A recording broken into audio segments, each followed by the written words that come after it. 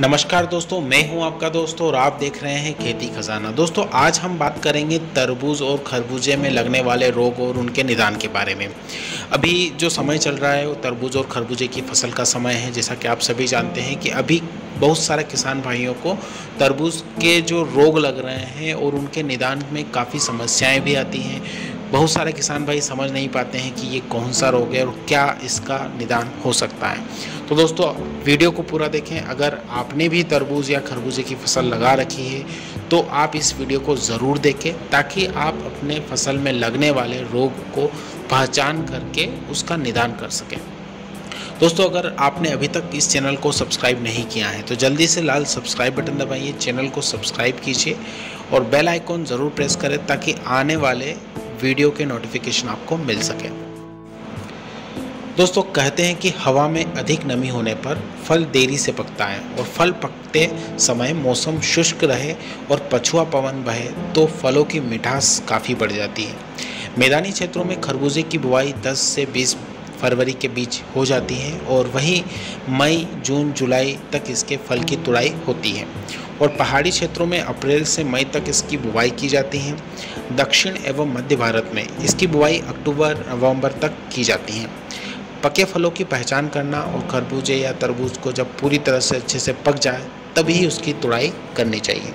दोस्तों, बात करते हैं हम खरबूजे और तरबूज में लगने वाले रोगों की। तो सबसे पहला होता है चूर्णिल फफूंद, जो चूर्णी वाला फफूंद या उसे आप देखते हैं कि जो तरबूज के ऊपर धब्बे बन जाते हैं या पत्तियों के ऊपर धब्बे बन जाते हैं, इस रोग के प्रथम लक्षण पत्तियों और तनों की सतह पर सफ़ेद या धुंधले धूसर रंग के धब्बे से की जाती हैं। कुछ दिनों के लिए बाद ये धब्बा चूर्ण युक्त हो जाता है। सफ़ेद चूर्णित पदार्थ अंत में समूचे पौधे पर बढ़ जाता है और इतना आक्रामक कारण होने की वजह से इसकी जितनी भी पत्तियाँ होती हैं, वो सारी पत्तियाँ गिर जाती हैं और इसके कारण फलों का आकार भी नहीं बढ़ पाता है, वो छोटे ही रह जाते हैं। तो इसका रोकथाम कैसे करें? इसके रोकथाम के लिए रोगी पौधे को आपको खेत से इकट्ठा करके निकाल देना है, जला देना है और हमेशा ध्यान रखें कि बोने के लिए रोग रोधी किस्म का ही चयन करना है आपको। इसकी रोकथाम के लिए पहले से आपको कैलेक्सिन 1 एम दवा, एक लीटर पानी में घोल बनाकर सात दिन के अंतराल में या फिर टोपास एक एम दवा, चार लीटर पानी में घोल बनाकर एक से दो छिड़काव दस दिन के अंतराल में करने होते हैं। दूसरा रोग होता है दोस्तों, मधुरोमिल आसिता। यह रोग वर्षा ऋतु के उपरांत जब तापमान 25 डिग्री से ऊपर हो जाता है, तब तेज़ी से फैलता है। उत्तरी भारत में इस रोग का प्रकोप अधिक है। इस रोग से पत्तियों पर कोणी धब्बे बनते हैं। ये पत्तियों के ऊपर के भाग को पीला कर देते हैं। अधिक आर्द्रता होने पर पत्तियों के निचली सतह पर ये कवक की वृद्धि हो जाती है। इस वजह से पौधे का उत्पादन भी नहीं हो पाता, पौधा बढ़ नहीं पाता है और उसमें तरबूज भी उतने नहीं लग पाते हैं। इसकी रोकथाम कैसे करना है किसान भाइयों? इसकी रोकथाम के लिए बीज शोधन मेटल एक्सिल नाम से एक कवकनाशी होता है, जिसका आप तीन ग्राम प्रति किलोग्राम बीज की दर से उपचारित करके ही फ़सल को बोएँ।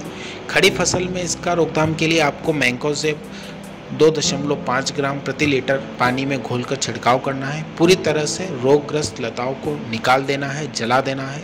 रोग रहित बीज उत्पादन के लिए केवल स्वस्थ फल से ही बीज लेने हैं, ताकि भविष्य में ऐसी समस्या आपको नहीं हो। इसमें दोस्तों एक मोजेक का भी, वायरस का भी प्रभाव पड़ता है काफ़ी। इस रोग का फैलाव रस द्रव्य रोगी बीज का प्रयोग एवं एफिड कीट के द्वारा होता है।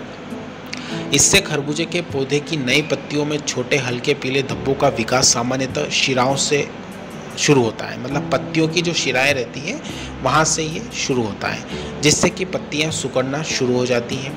पौधे में विकृत और छोटे रहने की समस्या आ जाती है। हल्के पीले चित्तीदार लक्षण फलों पर भी उत्पन्न हो जाते हैं। अब इसका रोकथाम कैसे करना है आपको? इस विषाणु मुक्त बीज का प्रयोग करना है। जब आप रोगी को पौधे को खेत से निकाल कर बाहर नष्ट कर देंगे, तभी समस्या का समाधान हो पाएगा। और विषाणु वाहक कीट के नियंत्रण के लिए डाइमेथाइट वन एम प्रति लीटर पानी में घोल बनाकर 10 दिन के अंतराल में छिड़काव करते रहें। फल लगने के बाद रासायनिक दवा का प्रयोग आपको नहीं करना है दोस्तों। जब फल लग जाते हैं, उसके बाद आप रासायनिक दवाओं का प्रयोग बंद कर दें। और चौथा होता है नेक्रोसिस विषाणु। यह रोग थ्रिप्स कीट द्वारा फैलता है और रोगग्रस्त पौधे के ऊपरी भाग में पत्तियों और डंठलों पर छोटे छोटे धब्बे बन जाते हैं, जो कि ऊपर से सूखने लगते हैं। इसके अलावा पत्तियों पर काले तथा फलों पर छल्लेदार धब्बे बनते हैं। अब इस रोग का रोकथाम कैसे करना है आपको? इस रोग से बचाव हेतु। तो रोग रोधी किस्म का आपको बुआई करना है सबसे पहला तो यही है दोस्तों कि आप जब बुआई करते हैं तो ऐसे बीज का चयन करें जो रोग रोधी हो।